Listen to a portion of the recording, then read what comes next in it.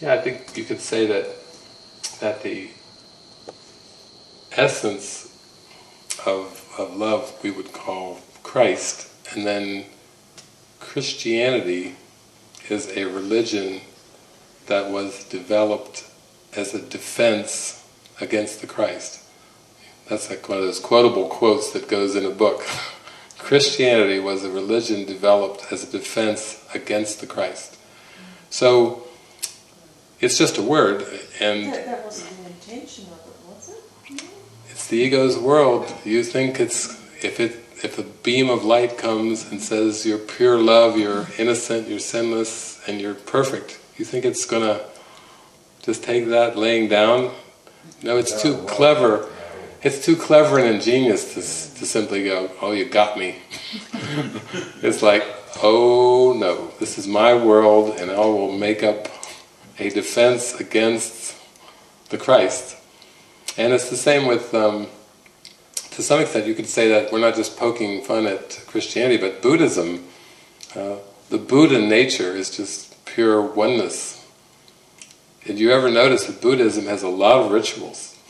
You, you go to a Buddhist retreat, you better be ready for some some rituals because there's a lot of them. We can say that about all the religions, you know, Islam, you know, Muhammad and and the prophets, but but I don't I've never heard of it. I guess they haven't done that. That like you know Allah. They don't call there's not something called Allahism. I'm an Allahismist, where um, I'm a goddess. Uh, you know, they pick the ego picks on something in form. So Muhammad was a prophet, a man. So Mohammedism or Islam, you see how it takes something in form and it twists it around and turns it into something linear, to some kind of organized linear thing. The same thing with Christ, Christianity, I'm a Christ. Buddha. I'm, I'm a Christ. I think you've probably gone up. To, you've probably gone up and said, "I am the the Christ." they go running off. but but in the end, so what can we say about this? Well, all it takes is a tweak in the mind, where you tweak this thought about religion from a linear theology into an experience. So I've got no problem with the word religion. It's just that in my experience now, it's been reinterpreted to be peace of mind. What religion are you? I don't understand the question. If, if peace of mind doesn't take on specific forms, it's just a state of mind. So the question is kind of like, what is the marital status of the number five? What is your religion? I am peace. Okay, yeah, but what is your religion? I am peace. It's like who's on first, what's on second, I don't know who's on third. You know, the old comedy skit. You could go back and forth with, but what is your religion? Is that the question you get asked? No, usually they don't even, it's beyond that now. They just assume I am whatever they think I am. and I don't defend that. I don't even begin to go there. Well, imagine if you're out traveling and you're sparkling and shining and someone comes up and they, you have this great rapport and you're chatting and and they feel the love and the connection and then they just say whatever words. You know, you're a Christian, aren't you? Or you're a Buddhist, aren't you? Or you're such and such. It could even be something like, something more extreme like, you are so happy. You don't believe in God, do you? you don't even have to defend that one. Because God is not to be believed in or not believed in, but to be known. It's an experience. So the Holy Spirit will use all the words and the symbols just to nurture that joining, not to throw up a concept. As soon as you throw up a concept, then, oh, it can seem to be attacked and defended very easily. Because that's what happens with concepts. You got division. You have more division. Spirit is not a concept. We're back to that unlearning. We're here to just unlearn all of the concepts and to not be identified with any of them. And you see how freeing that is, you know. If you're not identified as a man or a woman, then how could this construct of sexism bother you? If, if In fact, you can even go deeper. Um, let's get beyond like man and woman or male female. How about masculine and feminine? You see how that's still part of the ego's dualistic concepts. And if you get identified with one of those qualities over the other, then you can get defensive. If you're identified with masculine qualities and tendencies, and someone walks up to you and says, Oh, you're so feminine.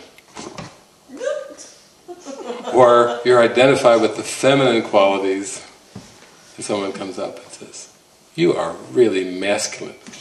You see? Scotty, shields up! We need power for, you know, you, you're going to get the defense shields up right away because they're saying something that doesn't relate to the way that you perceive yourself. So in uh, anthropology, I think it was, they came up with this concept called androgyny, which I kind of resonated with because androgyny is the sense that you are neither male or female, masculine or feminine, you are none of those qualities. You are beyond the qualities. But there is one that can use the qualities in the most helpful way. And that is the, the presence of God. So so androgyny is just simply calling upon uh, qualities that serve the whole.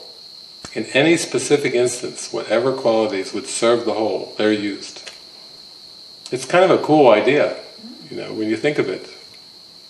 it you know, it's like uh, when, like when Dale was talking about your relationship last night, and you said, "I am, I am tired of, of Feeling like, feeling like the man, playing the man role." you know, and then, you know, you can say, okay, then I don't, I don't have to identify with that. And you can do that with anything. If somebody says to you, you know, you are too, you're too intellectual, you can just go back inside and go, okay, don't, I'm not going to identify my beingness with being intellectual or with being to this or to that people will ask me, they'll say, which is it? Is, is the path to God rational or emotional? And I'd say, rational or emotional? It's, it's both. But you see how in this world those two seem to be opposites? Jesus says there's only two emotions, love and fear. And, and Jesus also says that his curriculum is rational because it's based on the premise of the Holy Spirit. So it's loving and rational. It's emotional and rational. See how this pops all those things, where you know, the head is oftentimes associated with the intellect, the heart is associated with the emotions, and if you go around and you you talk to the ones that say, we are the touchy-feely people and we have one message for you, get out of your head and get into your heart. Then you go to the scientists, the philosophers, the ones that have a great appreciation for Socrates, Plato, rationality and everything, and they're like saying, would you get over this feeling crap?